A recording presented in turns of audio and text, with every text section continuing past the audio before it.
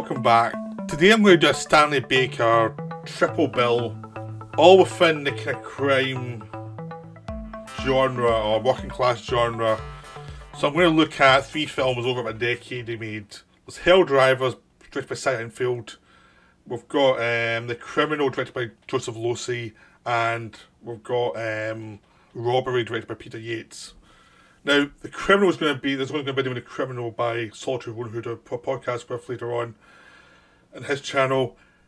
We both went to this direction at the same time and didn't realise until we, he announced his Losey series. I was like, I'm doing a Losey film too. Oh, but he watched both videos. it's just, it's just, uh, it's just the way it goes sometimes. You just, uh, you just plan things and realise other people are doing them. It just happens once in a while. So there we go. Um, so, um, Stanley Baker was an actor who operated post World War II up to like the mid 70s. Then he died of lung cancer.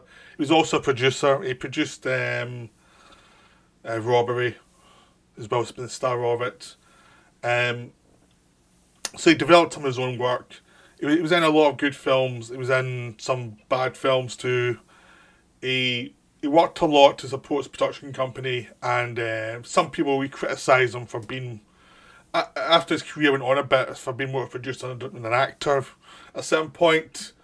Because early on he was so identified as these these great performances that um, people thought it was maybe a bit a little bit more lacking when he was trying to concentrate producing stuff too. But then again, he's a working actor. I mean, he worked on a lot of stuff through the years that we don't look back on at all now because of a supporting parts or maybe the film wasn't that good. It's just, uh, it's, a, it's a working actor thing. You're in good stuff, you're in bad stuff. You remember the good stuff. The bad stuff tends to be forgotten. So there we go. He even did some Italian films in the 70s for money. So, uh, I'm not covering them. I'm covering these three films. They're all good films. So, the first one's Hell Drivers, which was a film that put him on the map as his first real big success. Even though it was, was not a massive hit, this was a success. It was a modest success, and it told everybody he could carry a film. He'd been doing supporting parts in American films, and he'd been doing villain parts in British films. This is his first like proper lead where he showed he could carry the film. It was um, it led to more films Cy Enfield, including the biggest success, which was Zulu, and in the mid '60s. But this was the mid to late '50s, and this was the first collaboration. The interesting thing about Hell Drivers is the cast. It's got an amazing cast of people who are about to explode in the British film industry in the '60s that weren't there yet. So you have got Patrick McGoohan as a villain you know, this is before the prisoner, so he's he walks away with the film. He's astonishing. He manages to be he's that thing that Gary Oldman managed to do in Leon, where he's completely over the top, but really fascinating and really high, but also weird little details in there as well, which makes the performance really interesting. You've got a young Sean Connery as uh, one of the people who are working as as one of the drivers. This is well before Bond. This was a three or four years before Bond, and he looks quite a bit younger and rougher. Like hadn't gone through the um, polish they had to do for Bond. You've got young Gordon Jackson at the same time, who'd been a lot of big films in the sixties and TV in the seventies. You know, you've got William Hartnell before he became Doctor Who. So in this film, you've got Doctor Who, the first Doctor Who, and the first uh, James Bond uh, you, you young Sid James, or youngish Sid James, as one of the other drivers. You've Herbert Lom as an Italian. See, you, he's got an amazing cast, and everybody's good. But young David McCallum is Baker's brother, younger brother who's been injured in the past. No, so so basically the thing is, Baker plays this guy who was an ex-criminal. He went to jail for something, and there's never completely figured out the idea he was a criminal he got caught and he's trying to go straight. But the film knows that can be cliched as a as a story, so they keep it back as much as they can and let you fill in so much yourself. and they let Baker be the kind of guy who's keeping everything to himself, so that it's more interesting. It's just like they don't quite say it for a long time. He's an he's a criminal. They said he was away, but you know it was a criminal past. You know he's using a fake ID to get the job on this drive thing because he's a driver who working for this company who have to get back and forward to the pit to the location of the building these houses very quickly and have to do driving that's very dangerous. So you need top class drivers and you've got all these actors who are playing the drivers who are all you get kind of macho feel from. You get kind of thing these are the these are the kind of troublemakers in any society. These are the guys who are always in trouble. You know, they're doing this job, but they could be in jail quite easily. They're the people who just can't help themselves. They have a little bit too much energy. So even when they go to a cafe to hang out with each other, there's like a competitiveness to each other as well that's always there. But they are a gang, and they're all trying to beat Red, played by Patrick McGoohan, who's the the pit boss basically. He's a guy who's the fastest driver. He's a guy who sets the speed, and everyone has to follow. And he's a guy that, that uh, McGoohan's the guy who's just a bit crazy, and he's always putting everyone in the place and making sure everyone knows who their who the boss is and who the best person to drive is. Everyone's trying to beat his record, but no one can. Until Baker arrives, and Baker's the one guy who thinks I can take this guy. I can really take this guy, and he's competitive as well. I mean, he fits in perfectly with his group because he's a bit crazy too, which means that you, the character's more interesting, maybe a little bit less likable for some people, but more interesting because he's not that sympathetic. He's he's compared to McGoohan, he's sympathetic, but he's really just a guy trying to get over his past, and he's brusque with people, and he's trying to do the right thing He's trying to be loyal to his friend, even though his friend's girlfriend has eyes for him. Which again could be really cliched. It is the most cliched part of the, the, the story. It's a bit you can lose quite easily. But it kind of works because they play it like he knows it's dangerous and he actually. It's just written well, written more realistically than most versions of that story could have been written. Because it's just like, yeah, this is a problem which can happen. And there's no, like, easy way out of it. It's not. It's a tangled situation. It's, there's no real solution.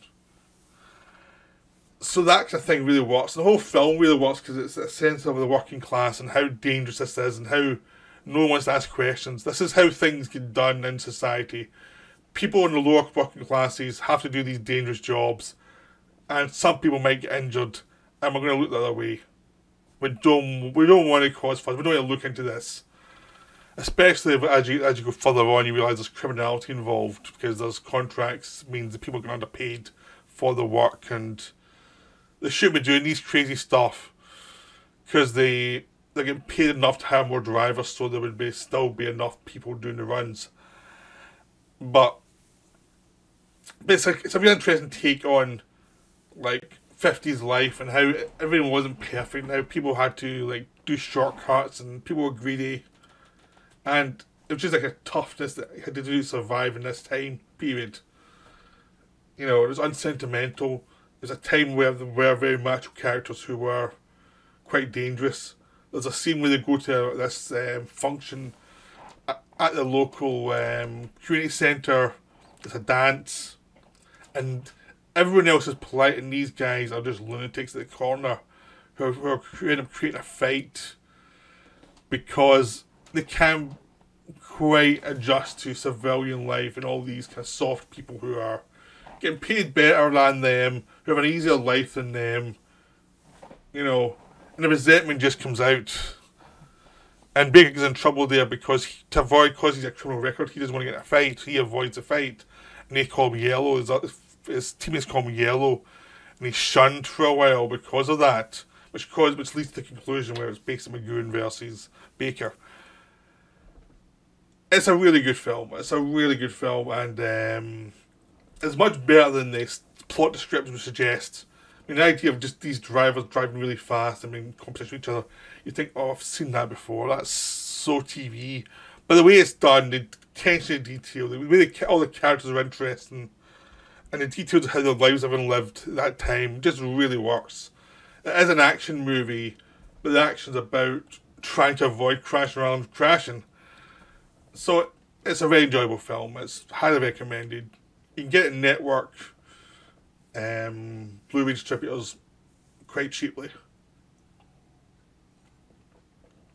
Next up is The Criminal, which is the one that Stanley Baker, maybe Joseph Losey, that led to Eve after that as well. So Losey at that point was uh, blacklisted. He had been working under assumed names as well, and he'd had a hard time. But now he was back under his own name and he was making film. But he was starting to get a reputation again as being a good director. But he was working a lot of films with minimal pay. He was not getting paid a fortune for these films. He was um, trying to do the best he could under circumstances. So he was being underpaid for films with not the highest budgets, but he was doing good jobs on them, and he was like he would get a reputation where it would not soon after this we'd meet the servant, and he basically they'll be delivered as a art house director again, so where he could actually get more money for his film. But this was still early on, where he'd been doing some Hammer films, like not the not the horror one, but he was doing the like the um, Hammer used to do horror films, but also do these like um, dramas as well, like uh, Camp Blood Island and things. And he did The Damned for them, and because he's a good director, and he did some scenes of X the Unknown before he was fired because of the lead actor being an anti-communist. Um, so, but particularly going to Criminal, it was a situation where Jerry Sangster, who worked for Hammer a lot, had written a outline for another producer, a criminal one, an idea of a crime story. It was offered to Losey and um, Baker individually, but they got together and said, "This is the most cliched thing we've ever seen. We'll make it as long as Big Brain, but we'll write it in. He can rewrite the whole thing. The plot will stay, but we'll do all the character details." And that's the film really works. Now, the film was cut down from over two hours to 140, one hour 40 minutes. And you can feel the damage in the film. It's, it's, it's, it's the, the biggest flaw in the film. This is a wonderful film. Is that it feels too short. It feels you actually do feel something's been cut out of it, and it makes the film feel longer because it's too short. It's just that sense of in the film, it does feel like there's something that's that should be there that's not there because certain scenes have been, have been, have been built towards making a point, and then the you can go into the next bit, into the next bit, and it also feels there's there's scenes in there that would have actually helped make the dramatic points clearer and have more impact in certain scenes. Like the love story felt like you needed another couple of scenes just to solidify it and a bunch of other just some crime scenes of criminal workings felt like you needed more time with them as well. Everything always felt like a lot of the conspiracy stuff involved in the second half felt they needed more time. It just felt like the film was longer that was cut down. And that's kind of the biggest flaw in it is just like when I left the film I thought that's a really good film but it does feel like there's certain things missing that you needed. It's like they're probably there because when I read up earlier on that had been cut down, it's like, yep, that's probably what happened. Is that because it seemed like the film was too well made to miss this stuff. So it feels like, it does feel like a producer has come in and cut bits out that you should have had. And it's it's something producers used to do a lot in the sixties and the seventies where it was like, oh, this film's too long, let's cut it down a bit, and you end up cutting out the bits that you need to have a dramatic and emotional reaction to. Because it's a film about criminal Baker was very good at playing characters who might not be likable on the surface, but you find some admirable qualities about them. And this was one of those kind of films. He plays a guy who's getting out of jail, who we see early on is the big guy in the prison. He's a guy you don't mess with in the prison. He's got his um, own people beside him who will be loyal to him. And and it starts off with him shaming somebody who has done something, we don't know what he's done. But this guy is he arranged this guy to get beaten up, but he has nothing to do with it officially. They can't, can't prove they can't do it that will affect his parole. But he will he will arrange for this thing, this guy to get taken down. Even though he's not killed, he's just like beaten up a little bit. Then he's out of prison and you see his life and you see him dealing with these new gangsters coming around to his place. So there's like the surprise return party for him with all these gangsters around him and he's got an ex girlfriend who's not in good he's not getting on with well.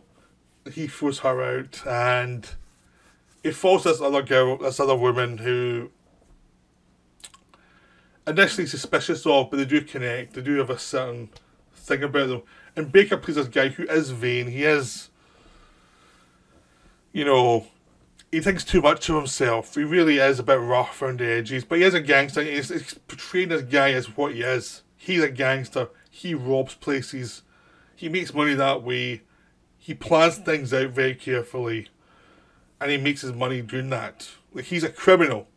They never try and say he's not a criminal. Everyone knows he's a criminal, and when he leaves jail, it's like we'll be back soon. Because you know, it's like, of course, that's what your job's a criminal. You're gonna fail eventually, and it's like he knows that. But as the fil- as the film starts to progress, you realise there's a new breed of criminal in that he they don't like him. They don't like his way of doing things because they are much more corporate. And uh, personified by Sam Wanamaker as the American guy who's is a middleman between him and the big guy who has connections all over in jail and the, the crime world. He's taking a bigger cut and he's taking a more brutal cut with different people. And Baker does not like that. Baker does not like this guy who's always chilling in his area. He doesn't like the guy who's trying to get more than he should. Because if they steal the money, they have to pass it through someone to get it laundered so it's not that money. So if someone grabs, catches them with the money, they can say, well, was that the same money that, that was stolen? And it's like, uh, no. So, well, how can you... So it's that thing they have to put through just to launder a little bit. And this guy does that, but this guy's now actually trying to go for a bigger cut because oh, it's a bit more dangerous now, but he's really just trying to power through. And the whole film is about this, this more corporatized crime syndicate trying to take over, and they don't like Baker. They do not like him. He's too independent. So it's very much the the, the setup similar to the Point Blank that was made later, where you have a corporatized crime syndicate now, and the individual who's going to smash them up. They don't understand. It's like, what's going on? Why, why, are you so annoyed? And this one, they're to get the guy who's individual because it's like, we don't like your way of doing things, and you will not bow down to us in our more supposedly civilized ways. So you have a you have a robbery that goes well. They get through it quite quickly.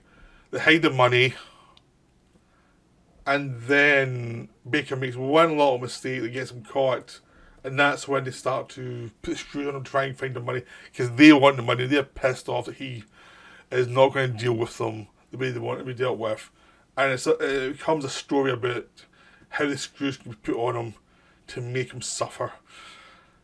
And it's really wonderful how it's done because it's all character based. It's all like little things that will bug him. It's a bit showed you how corrupt the the prison service can be because it's they've all been paid off by different people. It's how corrupt the criminal world is because the criminal world, of course, is corrupt.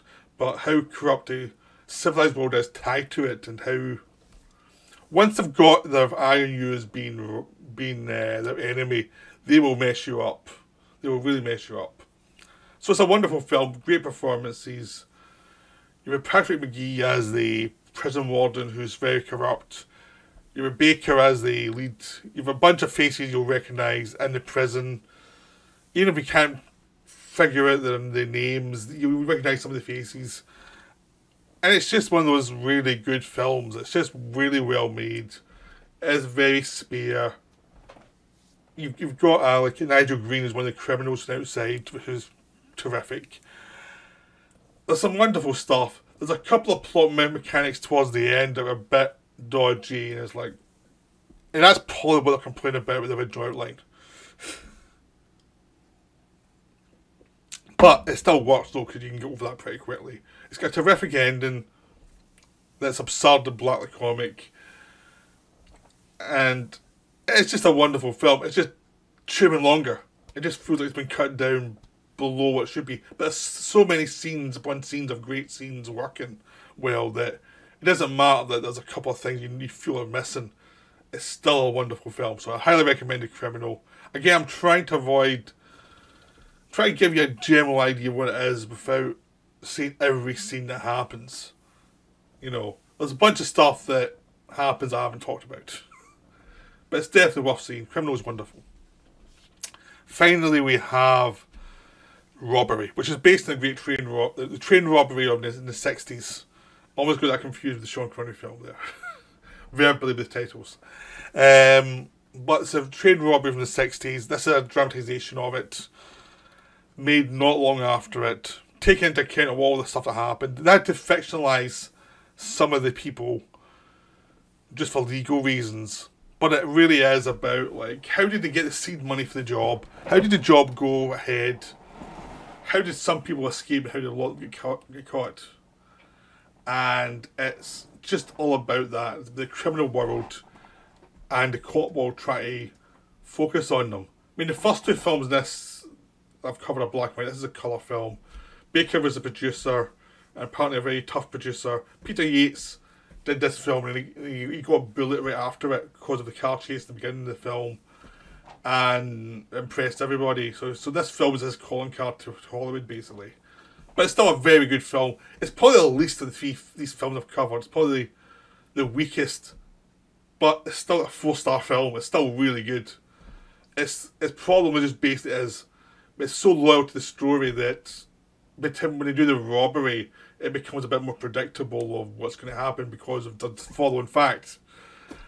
That's just that's just the limitations of doing a true crime drama sometimes. But the first section is something that did not happen in real life. They changed it because they wanted a car chase because it was like, how do they get seed money for this crime? It's a it's a, a robbery organised by Baker who you don't see in this first sequence, but you see his men as they do this crime. It goes wrong, and they have to do a car chase to escape. And it's a great car chase. It's crazy. It goes through London, has to avoid different people, and it's. And you see, you see their getaway drive. You see the different people who are, and you see how fo- who, you see the individual characters and and under, stress, and you see how how competent police are how much of a tough getaway it actually is. So, but half an hour in, you've had a great car chase, you've got interest all these characters, and you know they're planning a big score. And you're seeing things go wrong for them because the police are on to them, so they have to be careful. And it's about the criminal enterprise trying to do the Great Train Robbery, or the train robbery. But it's called the Great Train Robbery in Britain, so it's confusing. And it's based about them doing it. So it does have a thing that Heat would have years later, which is you're seeing it from the point of view of the criminals and the cops, and the criminal world is fascinating and multi-layered and difficult. You're dealing with people who you have to negotiate the services of certain people for certain parts of the job, and you may not like them, but you have to deal with them because it's a job and you're a professional, and this is has to get done at this time for this job to work, and it's all about the plan of the job and the execution of the job and how they're going to do the getaway and how they plan their getaway, and it's very complicated. And all that detailing is great. And the, the, the aftermath of how mistakes were made and got a lot of people caught are also very interesting. But it's less interesting than the setup, which is kind of the problem is there's someone you see, you think, oh, you're going to mess up, and he does, and it's like, there's those moments of predictability and I think sometimes there's a bit of casting of someone just seemed too incompetent. So why do you go to him? And he messes a lot of stuff up, and it's like you went broad when you should have gone quiet with this character, and it's a lot of things like that happen in the film, but generally it's very good. Baker's terrific as the lead guy, the lead planner, who's always one step ahead of everyone else. All the the guys around him are faces you'll you can know a little bit from TV. You know, you may not know the names, but you know the faces. They, they crop on TV throughout the seventies, and the 80s. So there were people who you would not recognise on TV. And if you're a certain age, and you've just got lots and lots of um, interesting little moments, interesting little crime things. It's less personality based than the other two films. There's less character stuff in this one because it is a bit of crime more than the characters. In the first two films, it was about the characters' actions creating the drama, and this one is they want something, I'm going to go get it, and the character stuff is filled in, and everyone's interested. You get like Baker and his his wife, and their dysfunction. You get all these other characters and details, but it's all going towards this robbery, and the robbery is more important than the characters. So maybe in the second half, when things have gone a bit more wrong, you're less invested because you don't know the characters as well as you do in the first two films. But it's still a very good film, and well put together, very enjoyable. It's a crime movie that knows it's a crime movie and doesn't try and do anything different. It's like, we're doing a crime movie. If you like a crime movie, you're going to enjoy this. If you don't like crime movies, you watch this one, you might not like it. But if you if you any crime movies, you're probably going to like this one because it's it feels authentic to a lot of the weird qualities of that era and very macho elements. They're very focused on getting the job done, like be professional and deal with people you don't like and just keep working. It's like they treat the job as a job. It's like with this stuff to do from here, go here, do this next part of the job, go here, do the next part of the job, and just keep doing these things you need to do to get this thing to work. And how they hide from the police is very inventive. Because they don't go on a run, they do something different, which is quite inventive. And based on what actually happened. So it's a, it's a very good film. All three of these films are very good, they're all very enjoyable. And I hope you enjoyed this video and you can maybe get into some Stanley Baker films because there are a lot of good stuff. I mean, he was the, the Sean Connery before Sean Connery, basically. He was a guy who had the, the career Sean Connery had, I think people thought Baker was going to have. And Connery became Bond and he had that career instead. It's just that kind of thing. So, um, go see the films. They're all readily available. The Robbery is also available on Network Blu-ray, so it's easy to find. You get some good extras on it. Criminal is in uh, is also on Blu-ray for different distributor, but they're all available to see. So go watch them. Right, that's me for now. Right, bye.